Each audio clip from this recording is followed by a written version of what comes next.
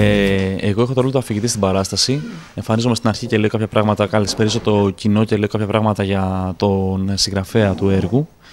Ε, πρόκειται για μια μεταφυσική κομμωδία. Ξεκινήσαμε την Παρασκευή 15 ε, Φλεβάρι.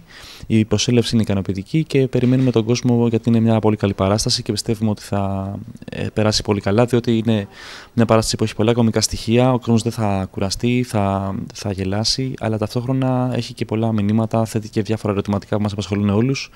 Δεν δίνει ακριβώς απαντήσεις βέβαια, γιατί είναι και ένα από τα στοιχεία του συγγραφέα αυτό το που σας λέω, αλλά θέτει τα ερωτήματα και προσπαθεί να φωτίσει διάφορες πτυχές ας πούμε, που απασχολούν τους ανθρώπους γενικότερα. Πέρα από το ρόλο του αφηγητή, έχετε και έναν άλλο ρόλο μέσα στην παράσταση. Ναι, ε, είμαι και νοσοκόμο. Ε, όχι νοσοκόμος, είμαι άγγελος. Ε, είμαι άγγελος, ε, όπως μαζί με άλλα δύο παιδιά. Εντάξει, ναι. Μια διαφορετική κομμωδία χαρακτηρίζεται από τους κριτικούς σαν μεταφυσική κομμωδία και αυτό έχει να κάνει με το περιεχόμενο του έργου που πραγματεύεται με έναν πολύ ιδιαίτερο τρόπο, ευαίσθητο, ποιητικό σε πολλά σημεία, χιουμοριστικό, ε, τις σύγχρονες αγωνίες και ανησυχίες του ανθρώπου για τη μεταθανάτια ζωή, μεταφυσικές αγωνίες. Ε, ο συγγραφέας είναι ένας από τους ε, σημαντικότερους σύγχρονους ε, συγγραφείς, ο Έρικ Εμμάνουελ Σμιτ. Τα έργα του κυριολεκτικώ πάνε τα μία σε ολόκληρο τον κόσμο. Παίζεται σε πάνω από 40 χώρες σήμερα. Όχι μόνο το συγκεκριμένο έργο, το οποίο είναι και από τα σχετικά πρόσφατα, να το πω, αν μου επιτρέπετε η έκφραση. Έχει γραφτεί από το συγγραφέα το 1999 και αυτό που χαίρομαι με την επιλογή της ε, θεατρικής μας ομάδας και δι πρέπει να το επισημάνω του σκηνοθέτη της θεατρικής μας ομάδας του Χρήστου του Καδόγλου ο οποίος ε, σύστησε το έργο στην ομάδα ήταν αυτός που το διάβασε πρώτος και το αγάπησε και το πίστεψε πάρα πολύ. Είμαι λοιπόν αυτό το ανέβασμα πέραν όλων των άλλων αρετών εγώ μένω στο ότι γνωρίζει, συστήνει στους δραμινούς θεατρόφιλους, στο δαμινό κοινό ένα εν πολλής άγνωστο έργο. Άγνωστο όχι μόνο για τη δράμα αλλά και σε πανελλήνιο επίπεδο επειδή είναι πολύ σύγχρονο έργο και επειδή στην Ελλάδα έχει ανέβει μόλις δύο φορές.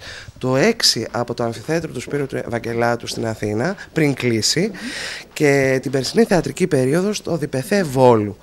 Λοιπόν, είναι πολύ σημαντικό το ότι δεν έχουμε να κάνουμε με ένα από τα γνώριμα έργα, πολλές φορές κλασικού ρεπερτορίου που τα γνωρίζουμε, αλλά με ένα άγνωστο έργο. Εμένα μου αρέσει το στοιχείο της εκπλήξεως στο θέατρο. Σαν θεατή.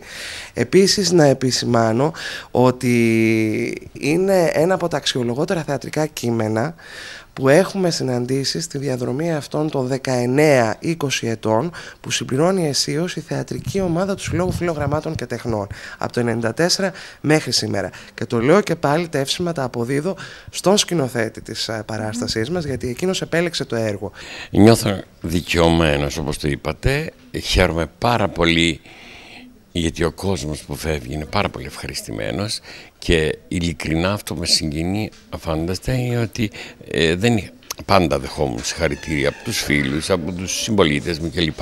Αλλά το, αυτό που γίνεται φέτος είναι το κάτι άλλο. Φαίνεται ότι αρέσει πάρα πολύ και νομίζω η πρόεδρος έχει πάρα πολύ δίκιο. Ναι.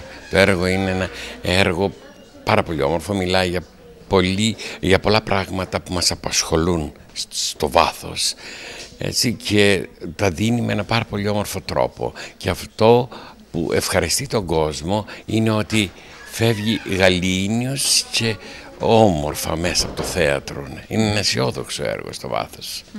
Οπότε λοιπόν οι παραστάσεις που θα γίνονται Τετάρτες και Παρασκευός Κυριακά μέχρι τις 3 του Μάρτη. Έτσι, Τετάρτες και Παρασκευό Σαββατοκύριακα. Ισχύουν τα, η δωρεάν ε, προσέλευση στα ΚΑΠΗ. Έχουμε μοιράσει διαφορετικά στα ΚΑΠΗ, η ΤΑΜΕΑ και οι άνεργοι, δείχνοντας την ταυτότητά τους, ισχύουν για αυτούς τη δωρεάν προσέλευση. Ναι.